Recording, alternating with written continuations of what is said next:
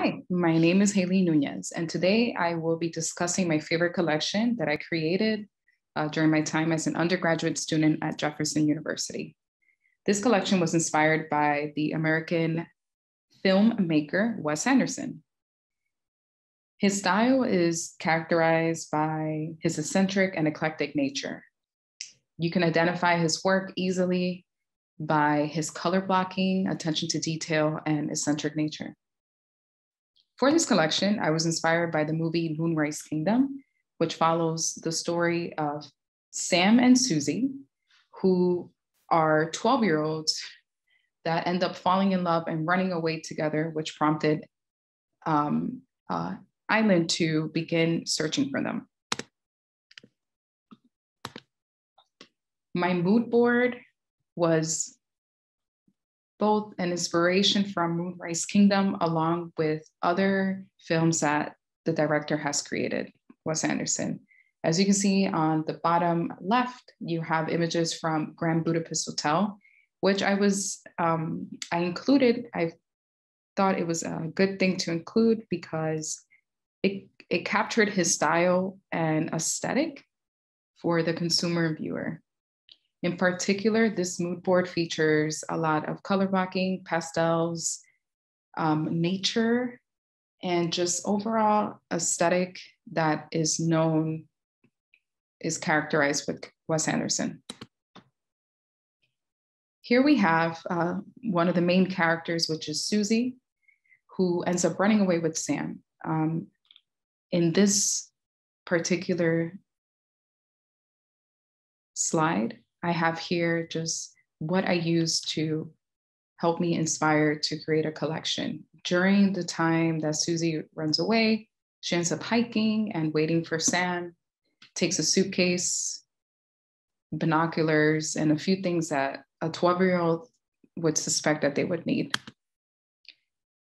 Um, here we have Sam Shakusky, who is a Boy Scout, and I pulled from the movie a few images and scenes that stood out to me.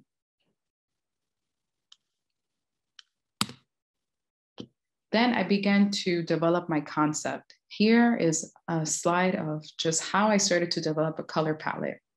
I looked at just a lot of reference images of the Moonrise Kingdom movie and just began to pull color swatches that I thought would aesthetically fit together with gouache.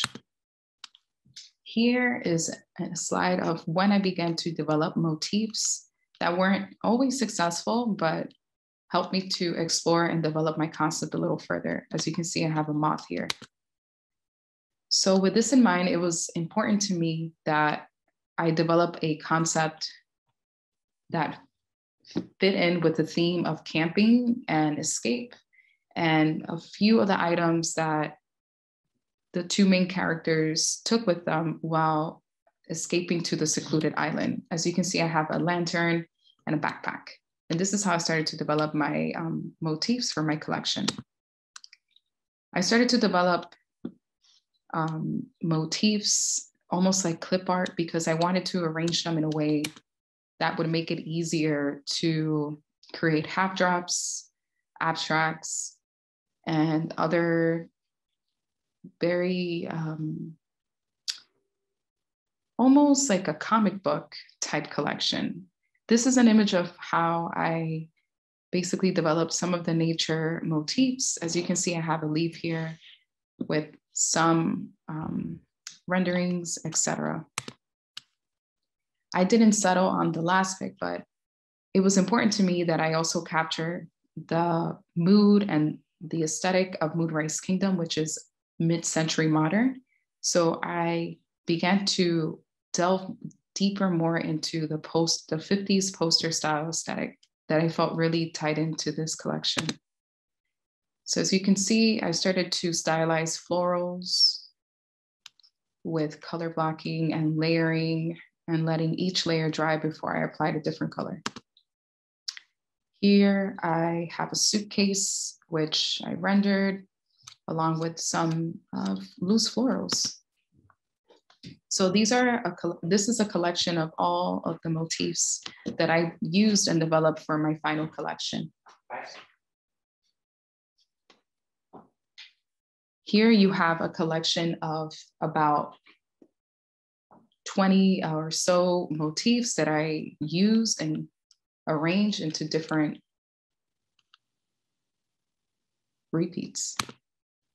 So this was my first floral, which is kind of a maximalist print all over that I really enjoyed making and I felt was very vibrant and just I enjoyed making. Here I have an abstract butterfly, which I then mapped later into a swimsuit. So I started to think about my end use for this project and I settled on a beach theme, which I will touch um, shortly. As you can see here, this is an arrangement of a few of the items that both of the characters either had, took with them, or encountered nature scenes while on their journey. So I ended up taking my geometric swatch and created a pattern from it. This is binoculars that I ended up converting it into an engineered print. So on my end use, I settled on uh, swimwear and beachwear, and this is one of the mappings for my floral print.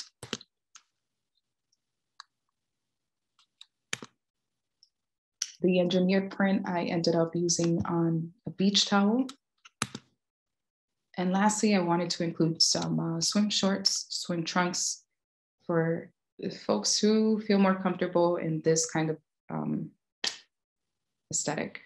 As you can see, I compiled all of my clip arts and created a repeat. And that's the back. I took my color swatches and mapped it out into another swimsuit, which I really enjoyed. And it's kind of an interesting take on uh, geometric and stripes. This is just a, a snapshot of all of the prints I kind of made for this collection. And that's it. Thank you so much.